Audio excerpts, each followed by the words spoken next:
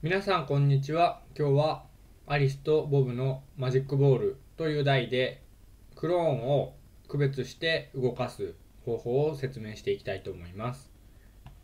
完成形がこちらになってまして旗を押すとクローン作るよと言ってクローン作るよと言ってでこの赤がオリジナルですね今。でボブを押すと青動けと言って青だけ動く。でアリソースと赤動けといって赤だけ動く。というふうに全部ボールのスプライトなんですけどクローンクローンオリジナルとなっていてで指定したものだけ動かすっていう方法を説明していきたいと思います。実際に作っていきながら。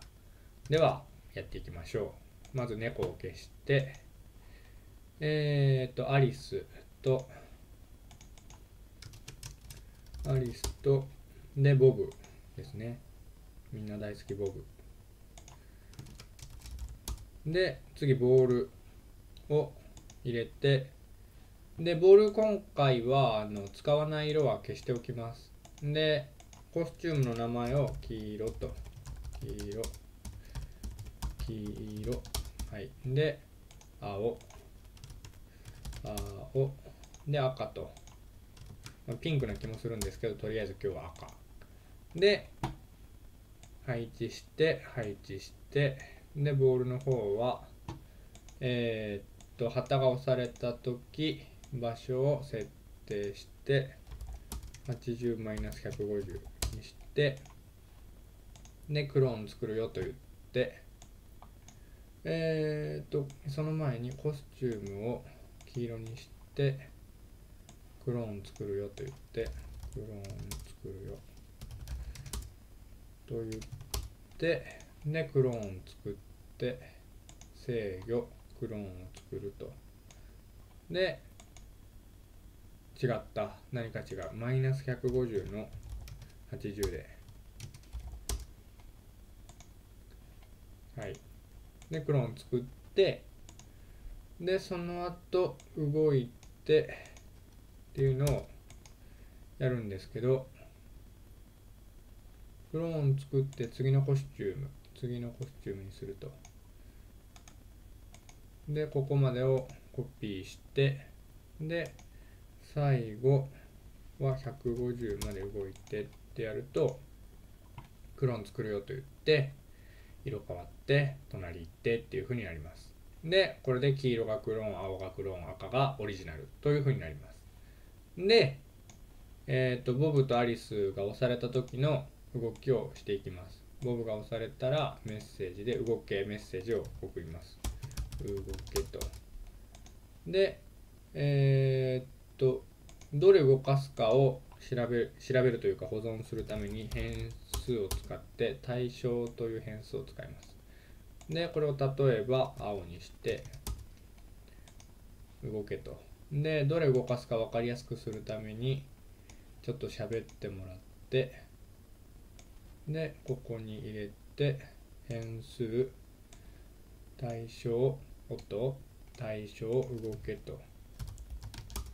でこれを入れてこれを1秒言うと。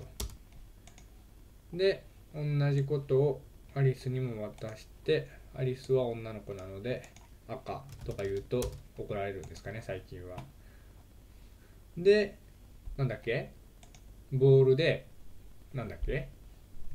メッセージ受け取った時になんだ？動くと。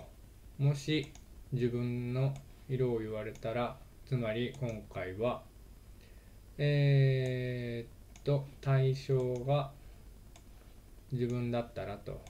対象がコスチュームの名前だったら制御10回繰り返す。動きえー、っと5歩動かす。36度回すと。でやると旗をして動かして動かしてボブクリックしたら青動けと言って青が動いてアリスクリックしたら赤動けと言って赤が動くと。動けはそれぞれのボールみんななんだろうメッセージを受け取るんですけどコスチュームの名前が一致したやつだけ反応するというふうにしてます。